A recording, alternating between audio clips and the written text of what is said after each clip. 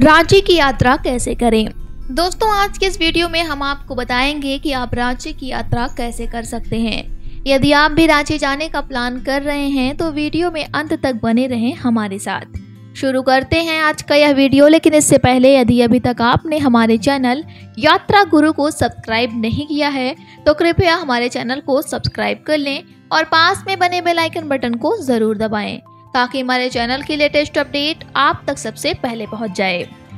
Flight के माध्यम से रांची की यात्रा। दोस्तों, यदि आप फ़्लाइट के माध्यम से रांची की यात्रा करना चाहते हैं तो हम आपको बता दें कि रांची का सबसे नज़दीकी एयरपोर्ट रांची में ही मौजूद है, जो कि विरसा मुंडा एयरपोर्ट है। फ़्लाइट के माध्यम से रांची की यात्रा के लिए आप अपने शहर से यह चेक कर लें कि आपके शहर से बिरसा मुंडा एयरपोर्ट के लिए फ़्लाइट की सुविधा उपलब्ध है या नहीं। यदि आपके शहर से फ़्लाइट की सुविधा उपलब्ध है तो आप अपने शहर से फ़्लाइट पकड़कर रांची एयरपोर्ट पहुँच सकते हैं, जिसके बाद आगे की यात्रा के लिए आप बस, टैक्सी और ऑटो का चुनाव कर सकते हैं। ट्रेन के माध्यम से रांची की यात्रा। दोस्तों, यदि आप ट्रेन के माध्यम से रांची की यात्रा करना चाहते हैं तो हम आपको बता दें कि रांची का सबसे नज़दीकी जंक्शन रांची जंक्शन है, जो कि भारत के कुछ छोटे बड़े शहरों से ट्रेन के माध्यम से जुड़ा हुआ है। यदि आप रांची जंक्शन से रांची में स्थित बिरसा मुंडा एयरपोर्ट की दूरी की बात करें तो लगभग छः किलोमीटर पड़ेगी। आपको जहाँ से भी रांची जंक्शन पहुँचना है, वहाँ से एक बार ट्रेन की जाँच ज़रूर कर लें। वैसे तो रांची जंक्शन काफ़ी बड़ा है और यह भारत के काफ़ी हिस्सों से ट्रेन के माध्यम से जुड़ा हुआ है। इसलिए आप अपने शहर से ट्रेन पकड़कर रांची जंक्शन पहुँच सकते हैं, जिसके माध्यम से आगे की यात्रा के लिए आप बस, टैक्सी या ऑटो का चुनाव कर सकते हैं।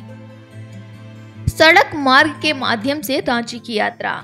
दोस्तों, यदि आप सड़क मार्ग से रांची की यात्रा करना चाहते हैं तो हम आपको बता दें कि रांची शहर में मौजूद रांची का सबसे बड़ा bus stand, Khadgarha bus stand है।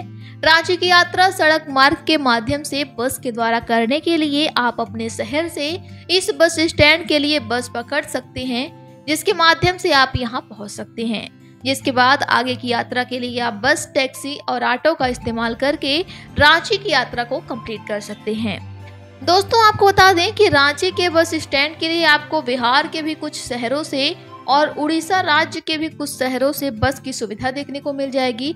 इसके साथ ही आपको पश्चिम बंगाल के भी कुछ शहरों से इस बस स्टैंड के लिए सुविधा देखने को मिल जाएगी। आप इन शहरों से राज्य के किसी भी बस से स्टैंड की यात्रा से आप कर सकते हैं और आसानी से इस बस स्टैंड पे आप पहुँच सकते हैं। जिसके माध्यम से आगे की यात्रा के लिए आप बस, टैक्सी और ऑटो का इस्तेमाल भी कर सकते हैं। तो दोस्तों, आज के इस वीडियो में बस इतना ही। उम्मीद करते हैं कि आज की हमारी यह वीडियो आपको पसंद आई होगी। वीडियो पसंद आया हो तो लाइक, शेयर और सब्सक्राइब ज़रूर करें और वीडियो में अंत तक बने रहने के लिए आप सभी का धन्यवाद।